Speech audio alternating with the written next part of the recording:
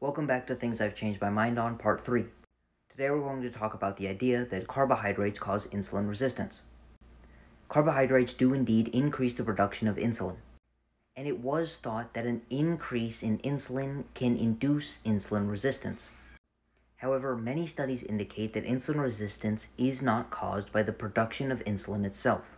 Instead, it's caused by the accumulation of fatty acids in the blood and inside of the cells specifically inside of the muscle and the liver, which is actually demonstrated by the fact that high carbohydrate, low fat diets increase insulin sensitivity, meaning they reduce insulin resistance, more than high fat, low carb diets.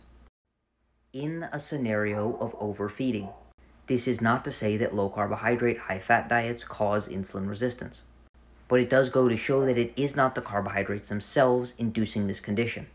Insulin resistance is not caused by a single macronutrient.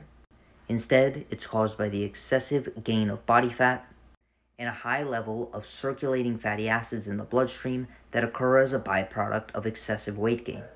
If carbohydrates cause you to overeat, then these carbohydrates contribute to insulin resistance.